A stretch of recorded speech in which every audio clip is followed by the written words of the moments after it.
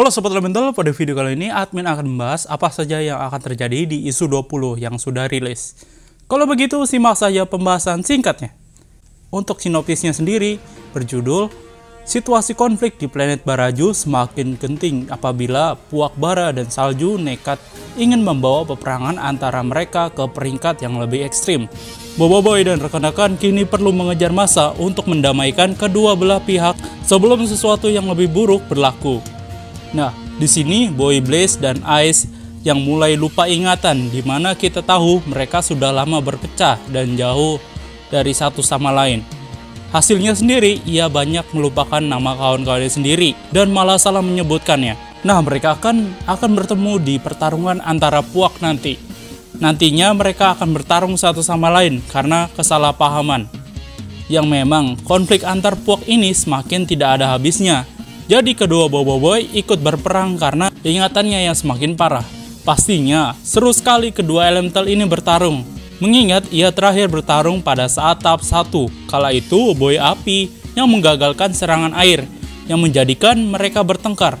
Berarti Boy Blaze Ice ini tidak saling mengenal yang membuatkan Panglima Yanari dan Mas Mawais malah bertanya-tanya kenapa mereka mirip sekali tetapi malah tidak mengenali jadinya perang ini bakal menjadi kacau dengan ada Bobo Boy. Lalu bagaimana dengan nasib planet Baraju tersebut? Apakah perang akan berlanjut dan bencananya semakin dekat? Kita juga diperlihatkan kedua elemental yang akan fusion antara Solar dan Taufan. Oh memang tahap 3 Beliung dipakai di Windara saja, dikarenakan terlalu bahaya menggunakan Beliung lagi.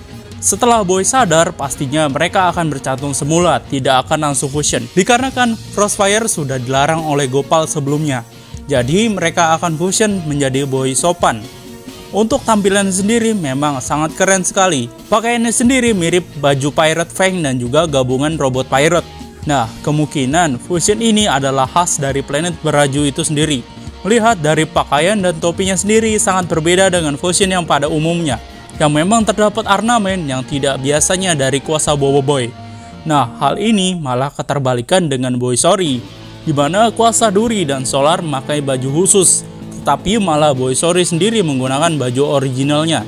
Eh, di sini Taufan dan Solar memakai baju biasanya, tetapi fusionnya menggunakan baju khusus. Jadi memang unik sekali fusion di musim 2 ini, entah nama, kuasa, maupun prosesnya.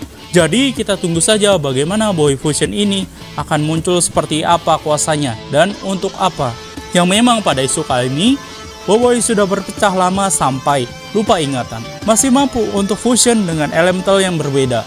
Sangat cocok sekali memang judulnya yaitu Kuasa Tanpa Batasan yang memang Boy tidak ada habis energinya untuk isu kali ini. Jadi itu tadi yang mungkin akan terjadi di isu 20 kali ini. Jumpa lagi di video selanjutnya. Goodbye.